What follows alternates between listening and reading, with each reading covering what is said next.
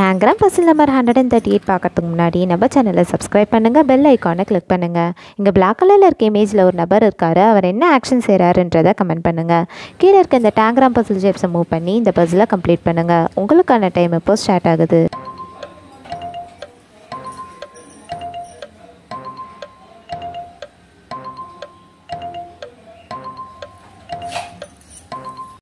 Times அப் இப்போ இதுக்கான solution என்னன்றதை பார்க்கலாம். கீழே இருக்க இந்த டேங்க்ராம் பசில் சிப்ஸை மட்டும் மூவ் பண்ணணும்.